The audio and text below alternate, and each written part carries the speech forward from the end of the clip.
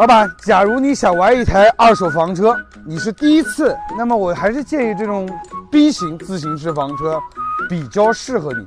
呃，性价比也有，然后车况也比较新。像这样的车都是一年半年的车啊。我们今天讲的是这台大通的 V90，来自威尔特芬上装的一台 B 型房车。这是一台加长轴超高顶的车型啊，价格呢比在新车的基础上优惠了十万块钱。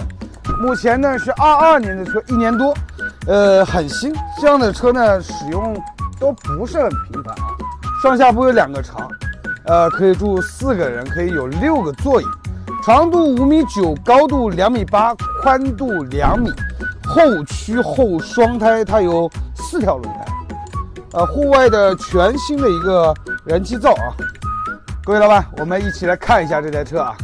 六个座椅啊，两张大床二.点零 T 柴油自动挡，后驱后双胎啊，定速巡航啊，这些东西都是标配。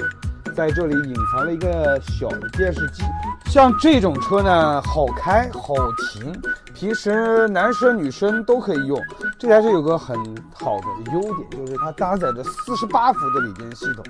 所有的家电呢是一个满配啊，配置比较高。在客厅区域呢有一个对向的卡座，主驾驶也可以转，哦，转过来之后呢，甚至于拼一张第三张小床，然后女生开起来没有什么压力，不像 C 型房车啊，它会有一点轻微的晃动。这台车不会啊，哎，很新的一台车，目前二二年的车，行驶了三万公里啊，公里数也特别少。呃，威尔特芬，这家具都是高光面板啊，车主呢非常细心，这些说明书啊、配件啊都带回来，它没有动过。B 型房车呢，储物空间会比较大，我没有看到它这些柜子啊。来，现在讲一下它配置：四十八伏的锂电，呃，四点八度电，三百的太阳能板，三千逆变器，家电是全部都在。呃，厨房区域的电磁炉。洗衣机双开门的一个弗罗斯特能啊，冰箱，格兰仕的微波炉，包括一个四十八伏的扁平空调。车不大，所以布局呢比较紧凑啊。这是一张床，一米八五乘以一米三的一个双人床，四面都有窗户，采光率特别高。上方这个也是一个床啊，一个电动的升降吊床，吊下来之后呢，可以轻松住四个人。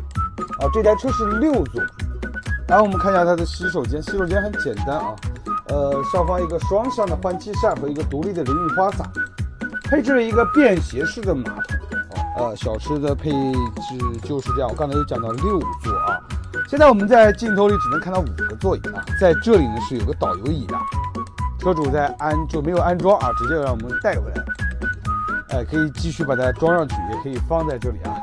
然后总体回顾一下这台小车啊，威尔特芬的车不错的，顺宇房车，三万公里能省下小十万块钱啊！现在全款是二十一万八千块，家电呢是满配的，呃，空调、暖风、洗衣机、冰箱这些乱七八糟东西呢都兑进去了，好开好停，二十一万八千的全款售价啊。V 九零。